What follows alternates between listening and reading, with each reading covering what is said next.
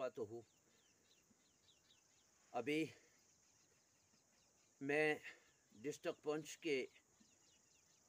तमाम आवाम को मुबारकबाद भी देता हूँ कि हमने मेंढर एतवार को राना साहब को तमाम बच्चों के वालदेन ने प्रोटेस्ट मेरा बेरा मेंढर मॉडर्न स्कूल अगलाविया की के मतलब जो एक प्रोटेस्ट किया जिसमें राना साहब की सरप्रस्ती में हमने अपना एहतजाज दर्ज भी करवाया और तकरीबन तीन चार महीने से सिक्स क्लास के बच्चों का जो इम्तान एडमिनिस्ट्रेशन पहुँच एजुकेशन ने लिया था उन बच्चों का रिज़ल्ट जो है रोक कर रखा गया था और हमारे प्रोटेस्ट के बाद राना साहब की सरप्रस्ती में जो है, वो एतवार को जब हमने प्रोटेस्ट किया तो सोमवार को ही रिज़ल्ट उसके रिज़ल्ट की लिस्ट जो है आउट कर दी गई। इसके ऊपर उन बच्चों को और बच्चों के वालदेन को मैं मुबारकबाद भी देता हूँ। और ख़ास करके मैं डिस्ट्रिक्ट पंच के शेर और बाजुर्त लीडर जावेद राना साहब, जो नेशनल कॉन्फ्रेंस के एक सीनियर रहनमा हैं पीर पंजाल के, मैं उनको डिस्ट्रिक्ट की तमाम आवाम की तरफ़ से और मेंडर स्कूल के तमाम मेंडर बेहरा, मॉडर्न स्कूल अगलाविया के बच्चों के वालदेन की तरफ़ से मुबारकबाद पेश करता हूँ कि आपने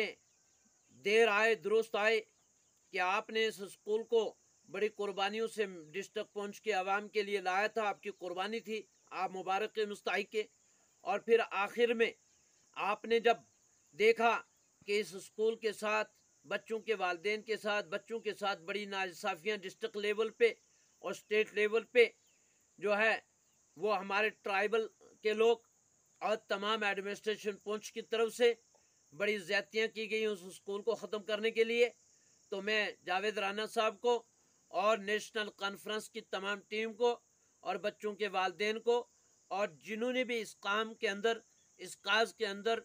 और इस प्रोटेस्ट के अंदर एतवार को जो मेंढर बेहरा के अंदर और वहाँ के आवाम ने जो है सरपंच, पंच और सोशल वर्कर्स हजरात ने शमूलियत के अख्तियार की,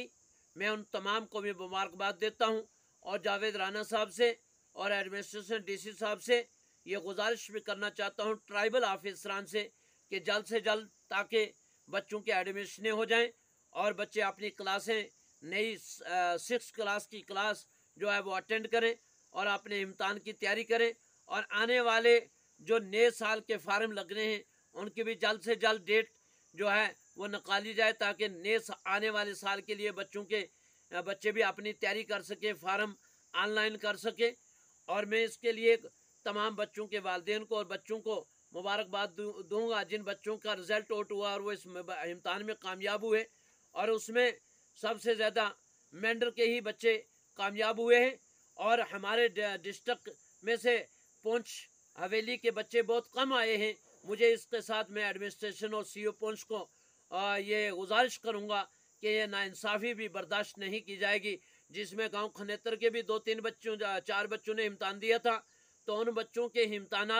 जो है, उनके बच्चों के नाम नहीं आए। ये मैं समझता हूँ, बड़ी नाइंसाफ़ी है। मैं इसकी भी मजम्मत करता हूँ कि हर डिस्ट्रिक्ट हर तहसील के और डिस्ट्रिक्ट के जितने भी इलाका जाते हैं, उनसे बच्चों को लिया जाए और बच्चों को जो है, वहाँ एडमिशन जी, एडमिशन दी जाए और तमाम बच्चों के लिए जो सहूलियत वहाँ होनी चाहिए, वो बच्चों की जो है, वो दस्तियाब होनी चाहिए और जो फ़ंड की कमी है, मैं राना साहब से कहूँगा कि हम तमाम आवाम डिस्ट्रिक्ट के आपके शुक्रगुजार हैं। कि आपने हमारे इस काज को जो है एडमिनिस्ट्रेशन तक, हुकूमत तक पहुँचाया। ये अंधी और बैरी हुकूमत है और एडमिनिस्ट्रेशन पहुँच। और डीसी साहब से भी मैं ये कहूँगा कि फौरी तौर पर मेंढर बेहरा के अंदर आप विज़िट करें। वहाँ के जितने स्कूल के मॉडर्न स्कूल अगलाविया के मसाइल हैं, उनको जल्द से जल्द हल करने की कोशिश करें। और अगर बच्चों के साथ ज़्यादा हुई तो हम रोड पर धरना लगा के डीसी साहब आपके ख़िलाफ़ भी जो है वो प्रोटेस्ट करेंगे। इसलिए उसके ऊपर आप डिस्ट्रिक्ट के चेयरमैन हैं और मॉडर्न स्कूल के भी चेयरमैन हैं।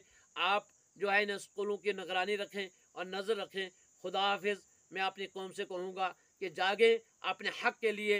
ालिम हकूमत के सामने आँखों में आँखें डालकर बात करने की ज़रूरत करें। खुदा हाफिज, अस्सलाम वालेकुम।